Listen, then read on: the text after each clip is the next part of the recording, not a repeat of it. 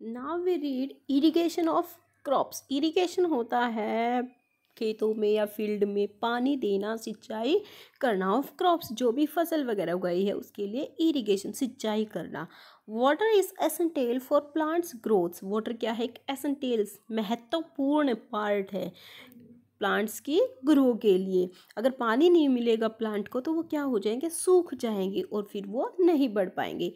Rain is the main source of water for most of the plants और main source क्या है हमारा water का? रेन जिससे मोस्टली प्लांट क्या प्राप्त करते हैं? पानी. But we do not get rain all the time but क्या है, कई बार हमारी क्रॉप्स में है ये जैसे रेनी सीज़न नहीं है, लेकिन हमें क्या करना पड़ता है, उसको पानी देना पड़ता है, उसकी इरिगेशन करनी पड़ती है। तो तब क्या करते हैं तो उसके लिए कुछ और भी तरीके हैं, जिनसे हम क्या है क्रॉप्स की इरिगेशन करते हैं। हमेशा तो बारिश होती नहीं है so plants have to be watered by the other method इसलिए हम प्लांट्स को वाटर करते हैं वाटर का नाम इस पानी देते हैं अदर मेथड्स कुछ और विधियों से।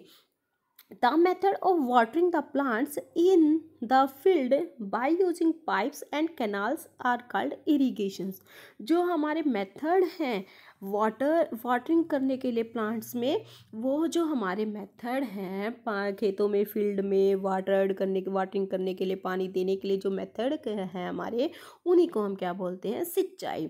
तो वो सिंचाई हम किससे करते हैं? बाई कैनाल्स और पाइप कई बार तो क्या करते हैं कि हम पाइप वगैरह दबा लेते हैं नहर वगैरह से, या कुछ कैनाल्स होता हमारा नहर।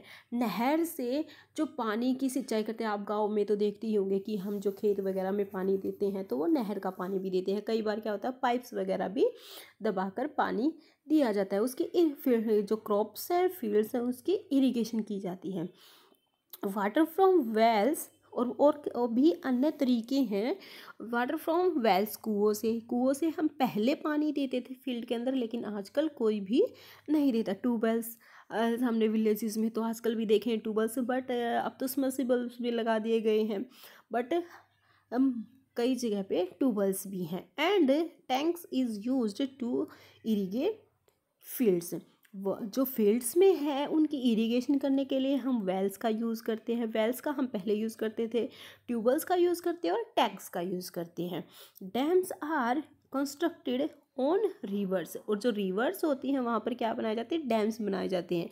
डैम्स क्यों बनाए जाते हैं? Dam supply water through canals. और जो डैम्स का पानी है, कैनाल्स नहरों के ज़रिए फ़ील्ड तक पहुँचाया जाता है। Now we read about storage of grains अब हमने क्या किया?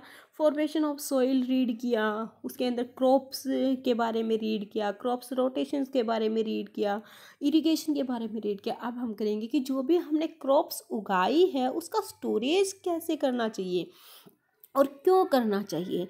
आफ्टर हार्वेस्टिंग हार्वेस्टिंग होता है, कोई भी क्रॉप है, फ़सल है, वो पक कर तैयार होगी, उसकी जो कटाई करते हैं उसको हम बोलते हैं harvesting the crops it is very important to prevent the grains from damage damage होता है उसको खराब होने से बचाना।